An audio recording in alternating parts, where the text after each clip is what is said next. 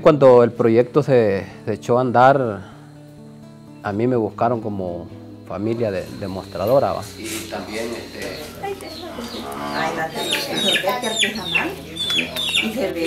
Yo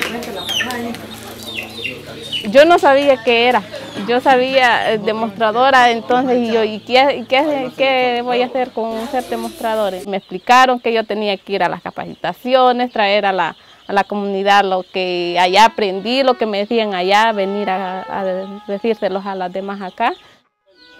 Variar el alimento, con que ellos puedan aportar, nosotros necesitamos ayudar. Nosotros como pareja mostradora reuníamos los irradiados y les comentábamos de lo que se hablaba. Y es bonito a veces cuando uno como pareja mostradora tienen la confianza con los demás irradiados porque ellos vienen y, le dicen, mira, fíjate de que yo tengo tal plaga en tal cultivo y, tú no sabes cómo se controla.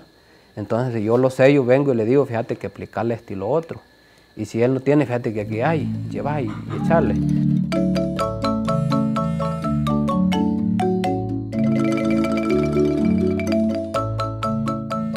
Al año de verlos casados, este, yo tomé decisión con ella de que me iba para Estados Unidos.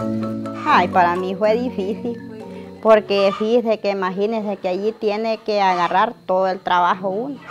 En todo tiene que andar uno y cuando el hombre está es distinto, porque una parte la hace el hombre y la otra parte lo hace uno, y es más duro. Empecé a trabajar, empecé a mandar dinero a ella, ella iba ahorrando, iba guardando el dinero. Ya después, pues que ya había hecho la casa y teníamos el terreno, gracias a Dios, pues ella me dijo que ya no tenía que estar allá, que tenía que venir. Así que entonces... Todo ha cambiado. Sí, ya trabajamos más juntos. Pero nosotros ya los han enseñado cómo trabajar. Porque yo desde que empecé a trabajar en hortalizas yo no he parado de sembrar repollo, sembrar chile, así, pepino.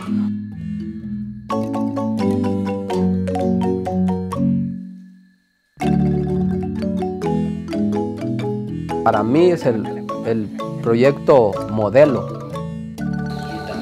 El proyecto PESA ha sido bien integral. Trabajar en equipo es, es, el mejor trabajo que, se puede desarrollar en una comunidad. Black mejor.